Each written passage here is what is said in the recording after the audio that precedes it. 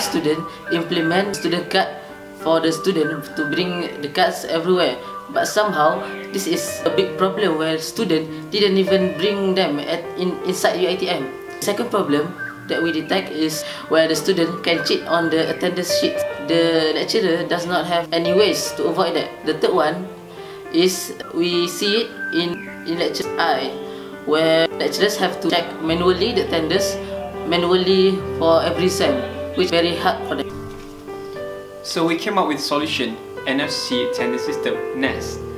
Okay, this attendance system is basically uses uh, NFC technology in smartphones. The lecturers must have their own smartphones and install this app on their phone. Alright, so the smartphone must have NFC enabled settings which allow the users to tap on their matric card or their student card on their lecturer's phone.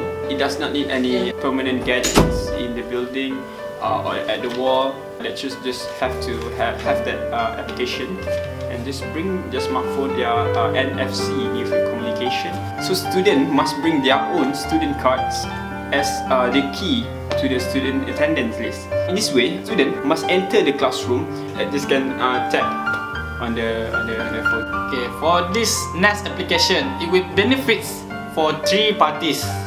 Firstly, it will benefit the university, the institute. So indirectly, it will synchronize with the lecturers so that the attendance management will be more manageable.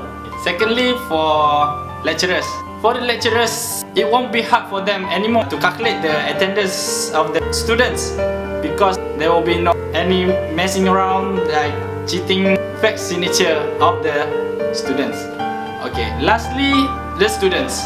These students, they won't be cheating for their attendance anymore because for this application, they will be using their student card only and they won't be asking for their friends to sign their attendance.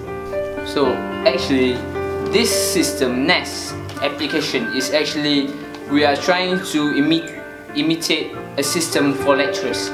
But the system for lecturers is they use a fingerprint system. This system is actually now used in UITM Shah.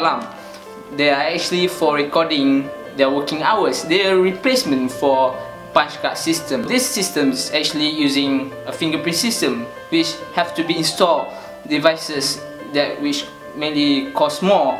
But for our system, we actually only use a student card and an NFC phone that can install or equip with an NFC tag. The lecturers only need to carry around their phone for their, their daily use. Lecture systems only calculates their working hours. This we can be reported for students attendance and reports and also help the managements for calculating attendance.